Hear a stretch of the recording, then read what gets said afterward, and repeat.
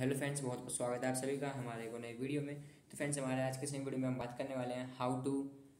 set custom wallpaper in one plus mobile तो friends, आप अपने वन प्लस मोबाइल के अंदर कस्टम वॉलपेपर को कैसे सेट कर सकते हैं तो आज की इस वीडियो में हम जानेंगे। तो फ्रेंड्स, अगर आपने अभी तक हमारे चैनल को सब्सक्राइब नहीं किया तो चैनल को सब्सक्राइब कर दें। वीडियो को लाइक करना ना भूलें। तो फ्रेंड्स, किस तरह से कस्टम वॉलपेपर को सेट करना है फ्रेंड्स कस्टम वॉलपेपर्स को सेट करने के लिए क्या करना होगा मोबाइल के फ्रेंड्स सेटिंग को क्लिक करना है। तो जैसे आप यहाँ पे सेटिंग को क्लिक कर लेंगे तो कस्टम वॉलपेपर को कैसे सेट कर सकते हैं फ्रेंड्स क्या करना होगा उसको लॉन्च करना होगा। यहाँ पे स्क्रॉल ऑन करते फ्रेंड्स आपको डिस्प्ले का ऑप्शन देखने को मिल जाएगा यहाँ पे डिस्प्ले डिस्प्ले पे क्लिक कर लेंगे डिस्प्ले पे क्लिक करते स्क्रॉल ऑन करना है यहाँ पे वॉलपेपर का ऑप्शन फाइंड यूज़ कर यहाँ पे वॉलपेपर पे क्लिक करना है फ्रेंड कस्टम वॉलपेपर सेट करने के लिए माई फ़ोटोज़ पे क्लिक करेंगे जैसे आप यहाँ पे माई फ़ोटोज़ पे क्लिक करते हैं तो मैं यहाँ पे इस पर क्लिक कर लेता हूँ क्लिक करने के बाद आपको सेट वॉलपेपर पे क्लिक करना है तो ये जो फ़ोटो है इसलिए मेरा फ्रेंड्स